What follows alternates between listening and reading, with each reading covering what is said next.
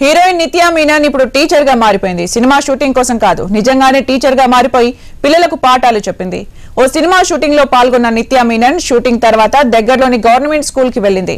అక్కడి పిల్లలతో కాసేపు సరదాగా మాట్లాడిన ఆమె ఆ తర్వాత వారికి పాఠాలు చెప్పింది. దీనికి సంబంధించిన వీడియోను స్వయంగా తన ఇన్స్టాగ్రామ్లో షేర్ చేయడంతో ఆ వీడియో ఇప్పుడు నెట్టింట వైరల్గా మారింది. చిత్తూరు జిల్లాలోని కృష్ణాపురం గ్రామంలోని పిల్లలతో ఆనందంగా గడిచిందంటూ నిత్యా మీనన్ తన పోస్టులో రాసుకొచ్చింది. నాకు సహాయం చేస్తావా? నా పేరు తెలుసా నీకు? అని అడిగాడు. The tailor was busy stitching clothes. Tailor చాలా బిజీగా ఉంది బిజీ అంటే ఏంటి?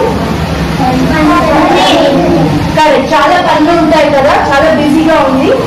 స్టిచింగ్ క్లోత్స్ క్లోత్స్ అంటే? క్లాత్స్ అంటే క్లోత్స్ అంటే ఏంటి? క్లోత్స్ బట్టలు సే క్లోత్స్ క్లోత్స్ చెప్పండి. works